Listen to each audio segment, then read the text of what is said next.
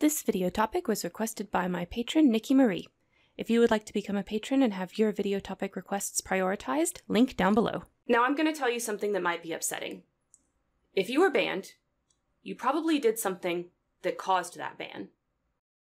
Spare Room with Karen Terry. Hey y'all, and welcome to Spare Room. I'm Karen Terry, and today we're going to talk about what to do when you've been banned. So, yes, new setup. People that have been watching the stream have seen this already. So, if you haven't been watching the stream, why not? Go ahead and come check it out. You can watch it live on twitch.tv slash it's Karen Terry, or the VODs are on this channel if you miss our live show, which is almost every Saturday from noon until 2 p.m. Eastern Time. Also, this isn't the final configuration of the lighting and everything, but it's time to film August's videos, so we are filming August's videos, even though it's not exactly finalized. Uh, let me know down below what you guys think of uh, what I've got going on so far, and uh, stay tuned for just a couple more changes in probably the next round of videos. So, you've been banned from a roleplay. That really sucks. You're probably going through a lot of emotions right now. If you were really invested in the role play, those emotions might be really intense, and even if you weren't that invested, it still sucks to be banned and it still hurts. Or maybe you weren't exactly banned, but you left because you kind of saw the writing on the wall. Maybe you got some strikes or some warnings, or you'd been talked to about things that you weren't planning on changing, or whatever the case, and you ended up leaving and you don't feel so good about it. Either way, life and roleplay goes on. So, what do you do now? So that's what we're going to discuss today. Whether you are a first time banny or a serial banny, we're going to go through a process today that should help you understand what happened and deal with it.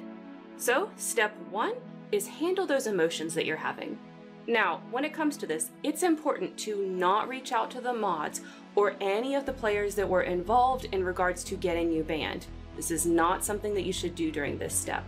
You need time to think. You know how you decompress best, so if that means reaching out to a friend, then reach out to a friend that wasn't involved in the roleplay. If that means putting some time into another hobby such as video games or solo writing or reading or whatever else it is you like to do, maybe put some time into that. What you're doing when you're decompressing is giving yourself at least 24 hours of thinking time. The reason why I say 24 hours is it is amazing how differently you'll feel about a situation after you've had a chance to have a good night's sleep and a good meal. All sorts of amazing, magical things happen in your brain when you give yourself time to step away from a problem and come back to it the next day. So, I say at least 24 hours, but you know yourself best in when those emotions are handled, so it might be longer for you, and if it is, you take that time. You know best when you've calmed down from the situation. So then, once you have calmed down, let's move on to step number two, and that is assess the situation. Now, I'm going to tell you something that might be upsetting. If you were banned, you probably did something that caused that ban. Does that mean that your banning was fair? Maybe not. But roleplay groups are a private club. They are not your employer, and they are not a public space. So bannings don't have to be fair. Since your goal is to accurately assess this situation, ask yourself two questions.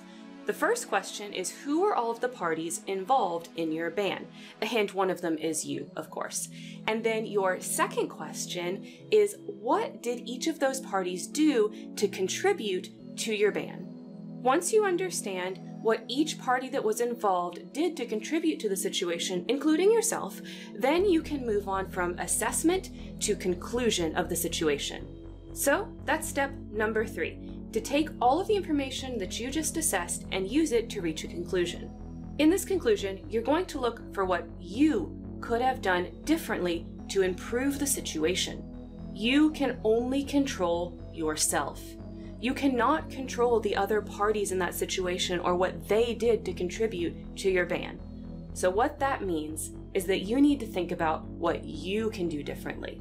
Here's some examples of conclusions that you might come to when you're kind of going through this so you can get an idea of what things that you might think based on what you know.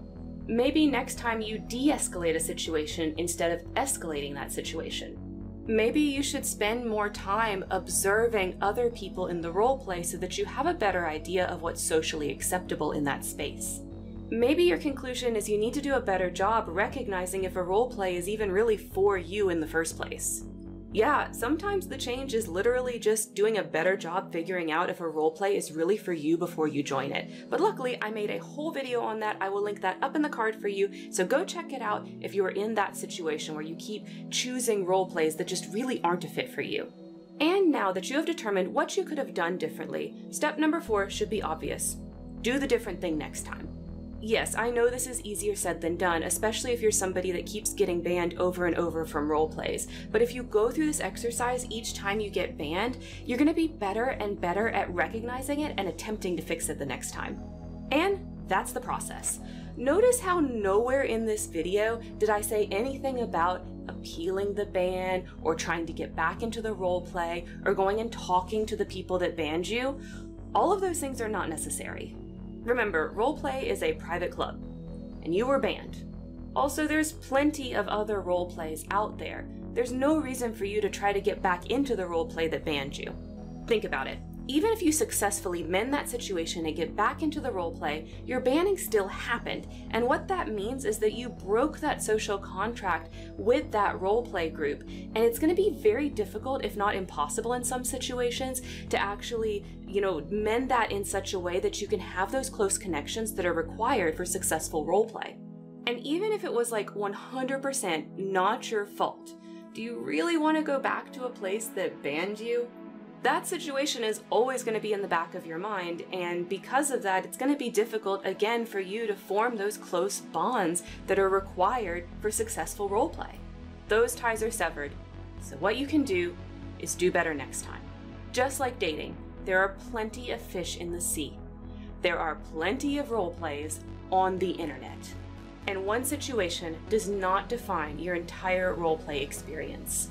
So, to recap, if you're banned, take yourself through these steps. First step is handle your emotions. Then, assess what happened. Next, figure out what you could have done differently in that situation. And lastly, do better next time.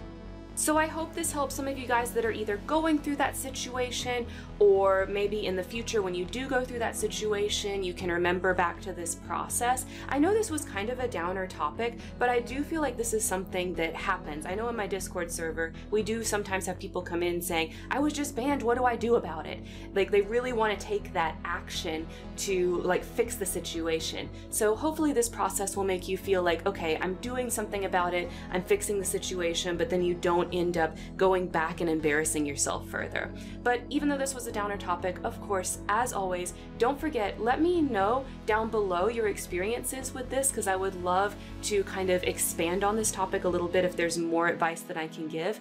And of course, as always, don't forget to make it a great day.